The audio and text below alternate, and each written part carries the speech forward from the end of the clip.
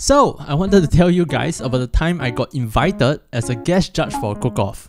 Between a really popular British pop trio, New Hope Club, you might or might not have heard of them before, but you probably heard of one of their songs before. The cook-off was between them and some local TikTok creators. Universal Music Singapore approached me and basically said like, Hey man, you seem to know what you're talking about. Do you want to host and judge one of our events? Me? I have never judged any competition before. I hate judging. It's just a bit too much to tell someone about what they have done face to face. I can never go up to someone, even in my previous job, and say like, this is garbage. Even if it is garbage.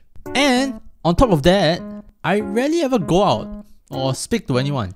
So I told them, yeah, sure, why not? Let's do it.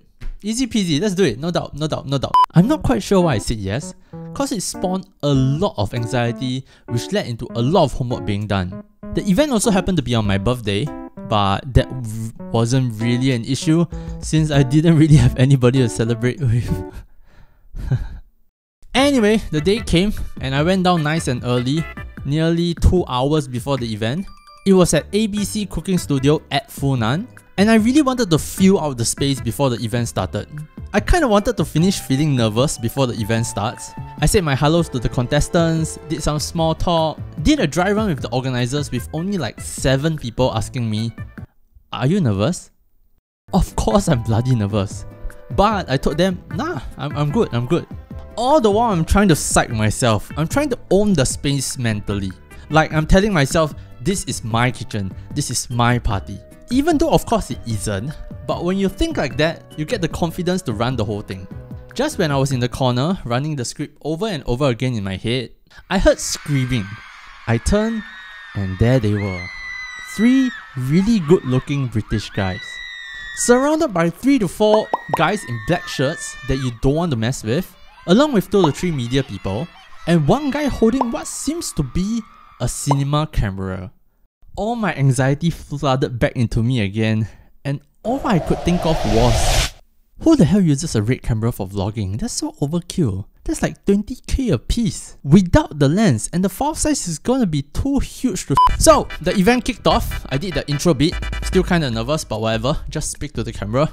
I've been speaking. I've been speaking to the camera forever now. Although I sometimes get distracted when asking them questions because they're so good looking. It's a bit ridiculous, but I don't think I've ever interacted with someone so handsome before. The cook itself was pretty chill. I just went around snooping on what everyone else is doing. There were 5 teams. 2 to 3 teams were food creators, or at least have some cooking experience. And it definitely showed they move faster and more efficiently than the others. All of them had 1 hour to make Hainanese chicken rice, a really popular local dish. All of the ingredients were prepped and weighed for the most part, so a lot of it was just arranging and combining. This meant that everyone used the same ingredients and the same amount. Something to take note on for later on in the story. Another funny thing that happened was, George asked me for help to identify which was the cooking wine. I opened up a tub of dark looking liquid, gave it a smell, and said, uh, this, this is the cooking wine. The cooking instructor, all of them had a cooking instructor with them to guide them along, came from the other side of the table and said, This is soya sauce. She took another tub with a colorless liquid and said, This is the cooking wine. Towards the end of the cook, everyone was slicing up the chicken and some of them turned out raw, including New Hope Club's. I got so excited, like my time has come. I can finally do the the it's fucking raw. But their manager signaled me saying, meaning that we won't be presenting New Hope Club's version. Kind of weird, champ, because the event is the cook-off between them and the local creators. I need to man in black the audience into forgetting the premise of the event. sure, sure, no doubt. It's not like the people tuning in are chicken rice enthusiasts. Anyway, the cook came to an end, and I got to do the 3, 2, 1, hands up, everyone stop cooking. I clapped like 3 times before realizing that I was the only person clapping. Which like, what the hell? Do, do you guys not watch any MasterChef at all? It's, it's like the thing to do. All of the participants brought their dishes up. New Hope Club and I shared a few comments on about how everything looks, and just as we were about to tuck in, I get the from their media person. The meant that New Hope Club will not be tasting any of the chicken rice.